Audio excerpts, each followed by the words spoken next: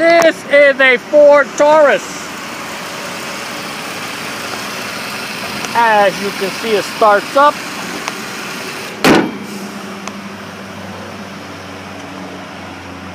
Now, all that stuff you see stuck on there is that they cut the grass. They got stuck on there. Windows on this side are opening. Car's got a dent here and some scratching. Let's take a look at the back seat. AC is working.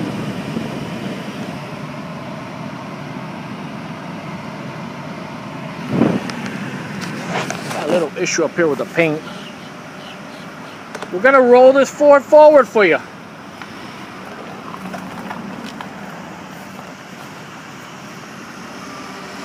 Windows on this side are working. AC is working. And we're going to roll this Ford Taurus back for you. This is a Ford Taurus.